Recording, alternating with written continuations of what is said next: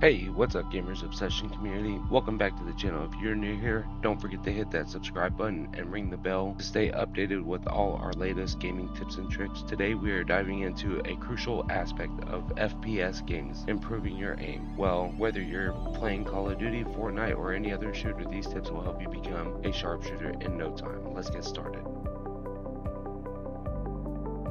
Improving your aim is finding the right sensitivity settings. Too high and you'll overshoot your target. Too low and you'll struggle to keep up with fast movements. Spend some time in the game settings menu and adjust your sensitivity until it feels just right. A good starting point is to lower your sensitivity and gradually increase as you get more comfortable. Remember, consistency is key, so stick with your settings once you have found your sweet spot. So go in with my settings. I run, I believe it's either a 400 or an 800 DPI on my mouse. Then I counter that with, you know, my mouse my mouse sensitivity in the game. I normally run a, uh, about a 6.1 to a 6.5, and I always keep my ADS multiplier at one. But if your mouse has a DPI button, then chances are it's going to have DPI soft mouse software in it. So basically, we're going to go ahead and open up full, and then we'll go right down here to the bottom. And mine is the the Razer Central. So let's open that up. So on mine, it'll be under the performance tab, and I'm running currently an 800 DPI. For most, that's going to be the standard DPI, out of the box, everything like that. What you can do is on some of these, you can actually change it. Let's say you want to do 650 DPI. Uh, 650.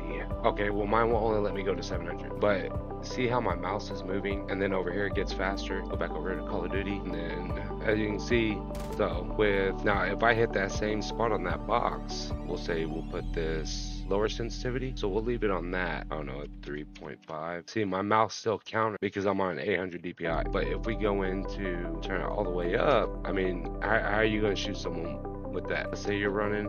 Oh, dude. I mean, there's some players that can do this, but for new players that are just coming into the game, don't know the game, you, you know, you gradually work your way up. So now we're going to move on to the next practicing your crosshair placement. So when I first started, I would run like this with my crosshair pointed down at the ground. That's how I would run because that's just what felt comfortable to me. So basically now I've trained myself to where I run with it probably about mid screen. You know, I would say upper torso to the head, enemy characters or enemy players rather. I mean, it'll feel funny for a while, but you'll get used to it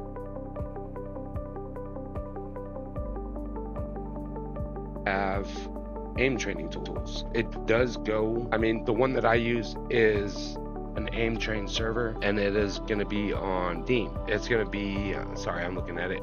It's going to be aim labs. You can go in there and you can test like your settings and stuff like that, adjust them to the way you like. Me, I run it for about 20 to 30 minutes before I even game that day. So if I just wake up in the morning, I'll jump on that and then I'll start my game. And it actually does help. I mean, there are several aim training tools that can help you improve your actual programs like AimLab such as the one here, or Kovaak's FPS Aim Trainer. They offer various drills designed to enhance your reflexes, precision. Spend at least 15 to 20 minutes a day on those tools, focusing on different aspects like tracking, flick shot, target switching, over time, you'll notice a significant improvement in your in-game performance. You know, I said 15 to 20 minutes. Me, I do it for 30 minutes. That's just normally my highest, but I just kind of work with what I have as far as my time. If I've got something going on during that day and I can only game for an hour or two, then yeah, I'll jump on for like 15, 20 minutes. And moving into tip four. So basically, you want to learn from the pros. Watching professional players can provide valuable insights into improving your aim.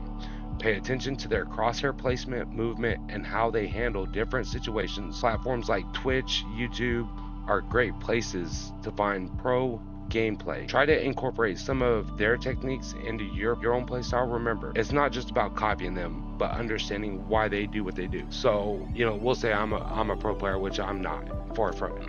you're watching you're watching players that do this right here. I mean, I never knew why they did it, but I just thought that they was doing it just for the fun of it. But that was oh man, like 10 years ago, but they actually do it because when that player is coming at you, he's going to expect to look right here. And if you're down here, you're going to get your shot off before he can get his because he's going to have to look down at you. So now we are going to move on to the last tip.